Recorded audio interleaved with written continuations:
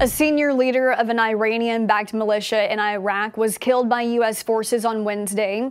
The U.S. carrying out an airstrike in Baghdad, killing a commander of Kataib Hezbollah, who officials say was responsible for directly planning and participating in attacks on U.S. forces in the region.